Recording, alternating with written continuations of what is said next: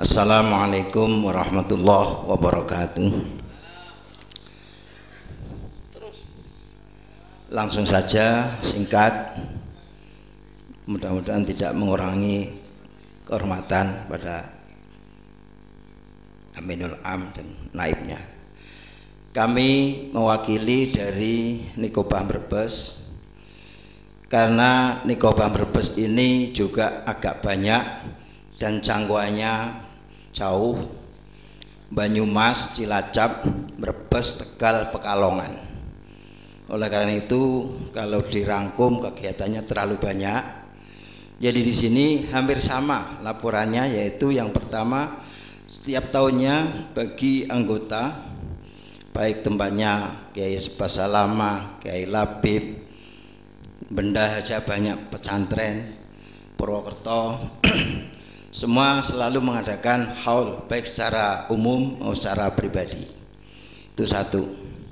Yang kedua Alhamdulillah biasa untuk mempersiapkan uh, mendatangi multako. Jadi kira-kira biasanya satu bulan kur, kurang lebih satu bulan sebelum multako kami Nikobah mengadakan pertemuan pengurus dan anggota bertempat di Pondok Pesantren dan Darul Quran di tempatnya Kiai Haji Mahsun sekaligus besuk atau tengok karena beliau sedang sakit sejak pulang dari Multako Sampang Madura sampai sekarang.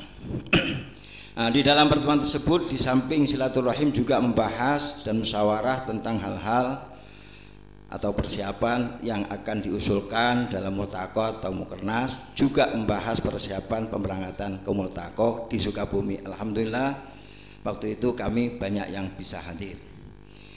Nah, yang ketiga, Alhamdulillah ini tambahan.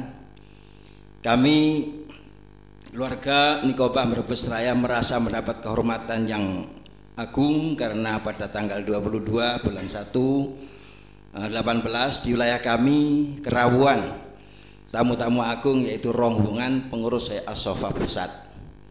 Nah, waktu itu yang dipimpin langsung oleh Soebul Fadilah Aminul Am Kiai Muhammad Ihya Ulumuddin. Pertama di Pondok Pesantren Darussalam tempatnya Kiai Basalamah Soleh Basalamah. Yang kedua di Pondok Pesantren Al Hikmah Benda Bumi Ayu Brebes tempatnya Kiai Labib dan saudara-saudaranya yang ketiga di Pondok Pesantren Al Quran Bapak Asiu Tegal tempat Kiai Haji Mahsum Wahid, Mah, Mahsun Wahidi sekaligus besok ini mohon doanya para uh, anggota Hayat Sofa mudah-mudahan beliau diberi sembuh oleh Allah Taala. Lahul Fatihah. Bismillahirrahmanirrahim. Alhamdulillah. Alhamdulillah. Nasta'in. Nah yang terakhir di Pondok Pesantren Alisan tempatnya Kiai Haji Tohawi. Hanya itu kiranya yang uh, bisa saya sampaikan laporan kegiatan di negara kami Brebes.